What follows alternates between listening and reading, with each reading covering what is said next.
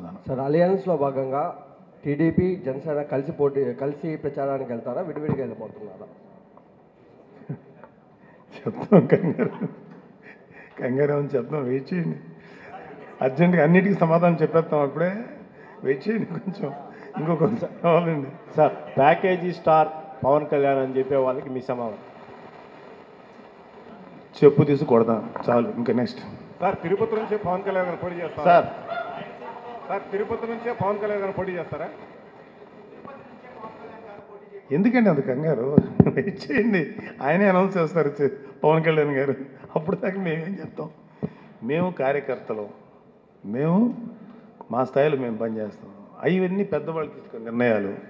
ఆ నిర్ణయం తీసుకున్నప్పుడు ఖచ్చితంగా మీకు ఎక్కడి నుంచి పోటీ చేస్తారు? ఎంతమంది పోటీ చేస్తారు? ఎలయన్స్లో ఎవరెవరు పోటీ చేస్తారు? ఏ స్థానంలో పోటీ చేస్తారు? వస్తాయి ఇన్ఫర్మేషన్ అర్జెంట్గా. ఇప్పుడు చెప్పేటానికి మాకు మాకు తెలియ మా- మా దాకా మేము నిర్ణయించే శక్తి మాది కాదు మా నాయకుడిది. సో ఆయన నిర్ణయం ప్రకారం ముందుకెళ్తాం.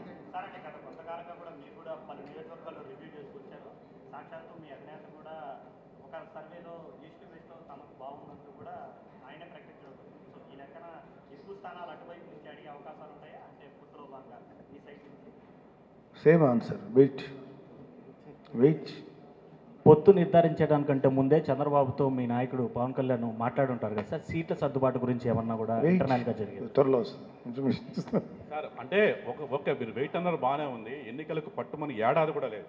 కానీ ఈ క్షణానికి ఏడాది కూడా లేదు, ఆరు నెలలు కూడా అది లేదు లేదు.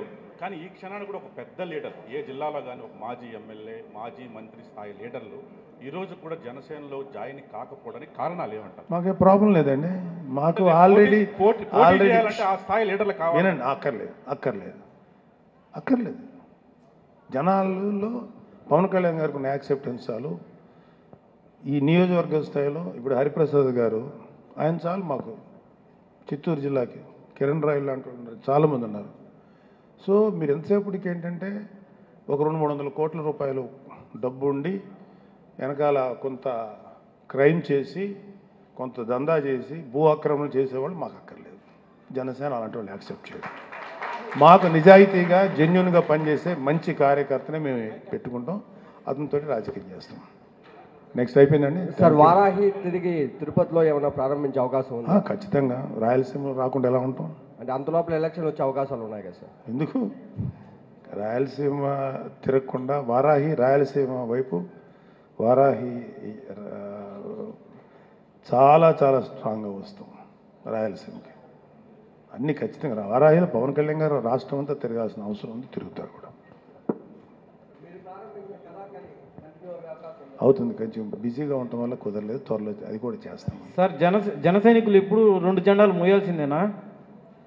ఎవరు నేను అడిగింది ఆ క్వశ్చన్ ఏడి వెయిట్ నువ్వు సాక్షివేనా? మీ పేపర్లో రాస్తారా?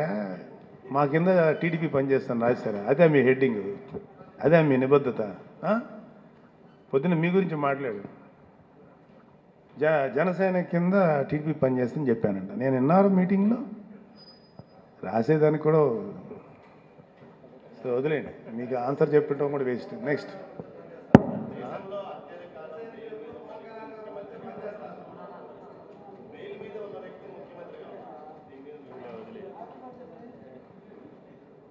అదే ఇప్పుడు మీరు కర్మ సిద్ధాంతం నమ్ముతారు లేదు తెలియదు కానీ మనం స్టేట్ మొత్తం ప్రజలు చేసుకున్నటువంటి ఒక కర్మ. సో అందువల్ల అనుభవిస్తున్నాం. ఈ కర్మ తీరిపోతుంది ఇంకొక మూడు నాలుగు నెలల్లో. సార్ ఇప్పుడు తిరుపతి అసెంబ్లీ సీటు మీరు టీడీపీకి వదిలిపెడుతున్నారా? జనసేన తరపున మీరే పోటీ చేయాలని ఎవరది క్వశ్చన్ ఇది? పోనీ మీరు నిర్ణయించండి ఏం చేద్దాం? మీరు నిర్ణయించండి. ఉండండి మా ప్రెసిడెంట్ గారు అంటే మీకు మీద ఒక. అవగాహన వచ్చిన తర్వాత అప్పుడే ఇంకా పొత్తు పెట్టుకోవాలి అలయన్స్తో ట్రావెల్ చేయాలని నిర్ణయించు ఏ సీటు ఎవరికి అనేది ఖచ్చితంగా మీకు అందరికీ ఇన్ఫర్మేషన్ వస్తుంది. సడన్గా వచ్చేసి నామినేషన్ వేసే ప్రసక్తే లేదు. అన్నీ మీకు మీ అందరికీ మాకన్నా ఎక్కువ మీకే ఎక్కువ ముందు ఇన్ఫర్మేషన్ ఉంటుంది. థ్యాంక్ యూ ఓకేనా